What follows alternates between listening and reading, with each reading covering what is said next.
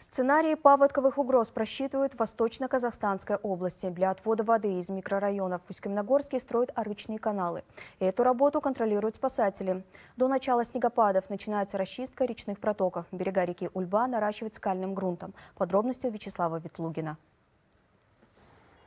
18 километров реки Ульбы протекает в Усть-Каменогорске. Этой весной за рекой следили круглосуточно. В марте уровень воды поднялся почти на метр. Сотни домов поблизости спасли каменные насыпи у побережья, поэтому укрепили с запасом прочности. Уже на первом этапе противопаводковых мероприятий в окрестностях Усть-Каменогорска серьезно нарастили береговую линию русла реки Ульба.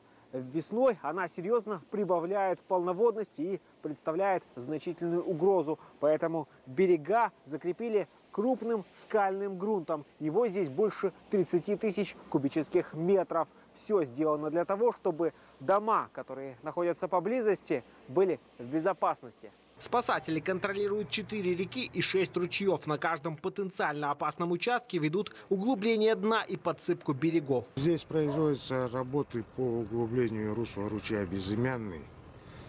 А Здесь у нас идет постоянный нанос глины с горы. То есть ручей идет с горы.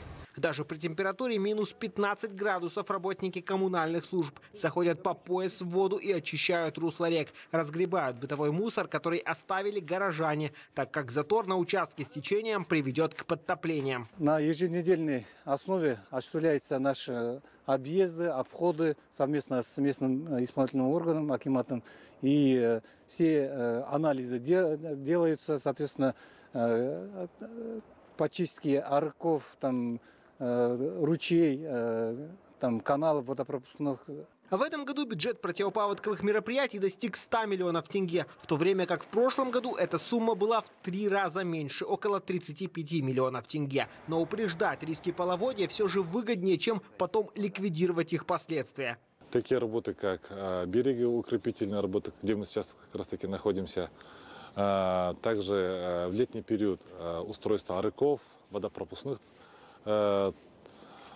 труб, а также на постоянной основе чистка этих арыков. Ущерб от паводков в этом году в масштабах страны достиг 300 миллиардов тенге. На востоке республики затоплений не было. ЧС природного масштаба удалось избежать за счет трудолюбия и самоотверженности сотрудников коммунальных служб, которые месяцами работали практически без выходных. Вячеслав Ветлугин и Дмитрий Пыхтин, Усть-Каменогорск, Хабар.